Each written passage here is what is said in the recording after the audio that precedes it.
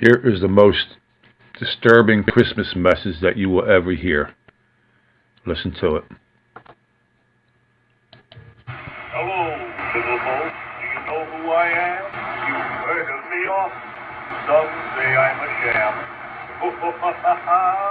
but most of you know that cannot be true. For every Christmas you've seen what I do. And now you not only know just what I do, but you hear my own voice as I'm speaking to you. Who is it, you say? Hush. Close all the doors and I'll tell you a secret. I'm old Santa Claus.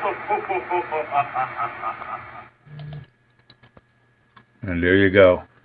That was recorded back in 1922 by Thomas Edison.